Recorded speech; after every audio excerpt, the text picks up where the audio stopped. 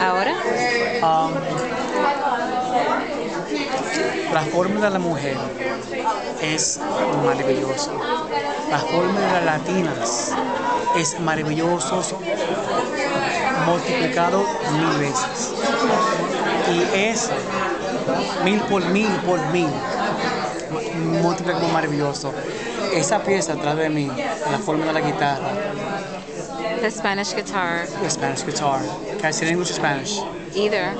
um, it, it resonates something in me that that moves me because I have a this fascination with the human form, specifically the female form, and more so because the acoustic guitar, which is one of my favorite instruments, brings some sort of calm to me.